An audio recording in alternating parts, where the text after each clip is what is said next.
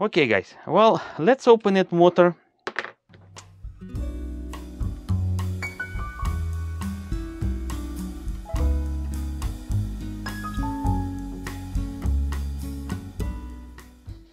Okay guys, finally I got it. Whew. And holy crap, that stator looks much much bigger than I ever see on a Future Motion. Well, Future Motion, I believe all wheels has the same stator. I'm running off my breath uh, in diameter. Uh, but this guy, yeah, it has also, I'd like to mention, yes, it does has a Japanese SKF bearings. The machining part looks quite nice. Uh, it has, also uh, o-ring, looks pretty good. But the stator, it's a mind-blowing diameter stator. I don't know why Future Motion didn't make it on XR or GT. It looks bigger than than than uh, GT. Well, let's see, around five inch the cover itself. This one is actually half inch bigger in diameter, but we all know stator even a quarter inch bigger in diameter plus wide, wider that will give you much more uh, torque.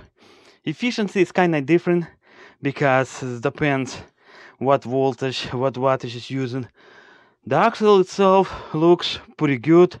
The o-rings looks looks nice and kind of looks like it fits the way it should be uh, machi- machining of the, of the surface it's it's kind of hard to say how good it is it looks looks pretty good and it doesn't feel like it has any imperfection speaking about winding winding looks actually it's not that great if you look it over here look like that winding been squash smash this winding still kind of sticking out a little bit.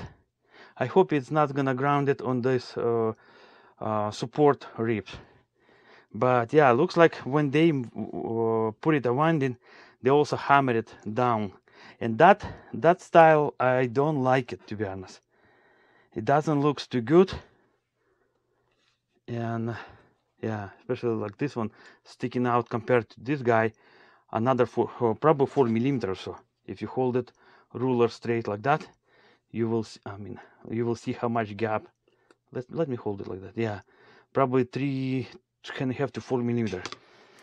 Look like almost someone after when they put it together someone drop it or so or maybe they have machine to smash it but it doesn't look right. This side looks looks all right it also smashed. Maybe that's that's the way they do which kind of suck because here you can see almost almost been destroyed. It's still still in one piece but i don't like the way it looks. The phase wire. And like i mentioned already the cable itself looks much thinner than on than on gt on uh, xr they do use i believe it's a 14 gauge wire. The phase wire over here with with isolation it looks like probably 14 without it probably 16 it's not it's not that actually. Let me get magnifier. There's some writings.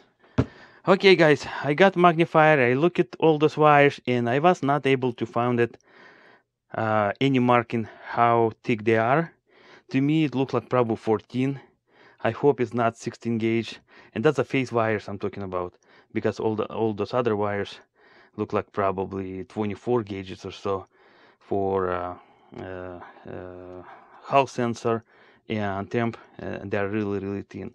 Those three it, it's a phase wires. Well like i said the motor especially when you hold it in your hand that uh, i don't know five pound or so or more um, stator it looks really impressive let's look at magnet. Of course i don't have any tester to test those magnets see how g- how strong they are. The magnets actually to me looks alright. I mean they look all looks like been glued in the right place in the right height. And well i hope it's gonna work the way it the way it should be.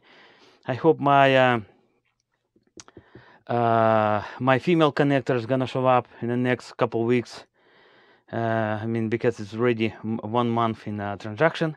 And also i did i just did recognize it this hub i mean the cover it has a six bolts uh mounting part uh, pl- uh spots places. And the hub itself it been drilled for 12 it's kind of funny. Uh, and also all 12s do have yeah do have a thread. And the thing is these bolt one size thread. This bolt is much smaller. Look like this one it's 3 3 millimeter 3.5 or 4 and this one is 3 it's kind of it's kind of weird.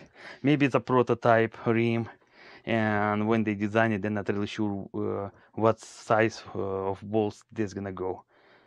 But like i said it looks pretty good. I kind of like it. Well guys pretty much that's all i got for this video. I hope it was interesting if you guys did enjoy it, thumbs up. If you don't want to miss any future videos, subscribe. We will be really appreciate. Thank you.